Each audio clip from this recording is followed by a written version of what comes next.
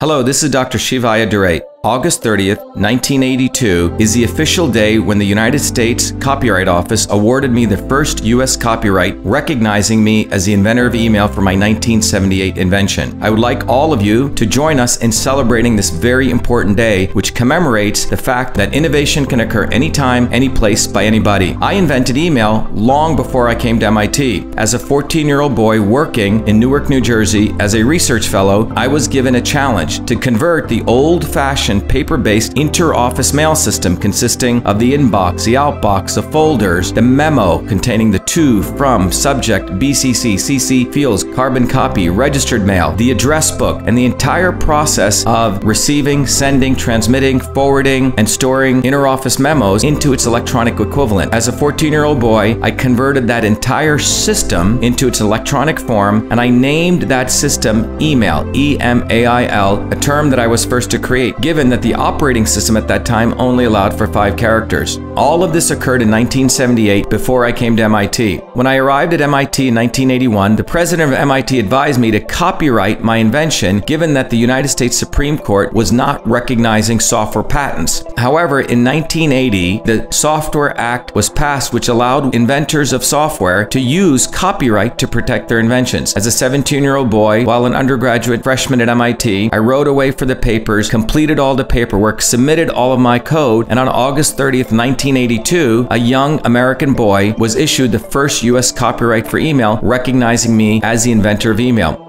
To be clear, I have never claimed to be the inventor of electronic messaging. Electronic messaging, which is a transfer of text messages through electronic and electrical devices, dates back to the invention of the telegraph. But most importantly, the invention of email reflects the American spirit that innovation could occur anytime, any place, by anybody. Join us and celebrate the anniversary of email on August 30th to commemorate the invention of email by a young 14-year-old boy in Newark, New Jersey in 1978. This is Dr. Shiva Ayyadurai. Please remember to vote in the Republican Republican primary on September 1st, and I approve this message.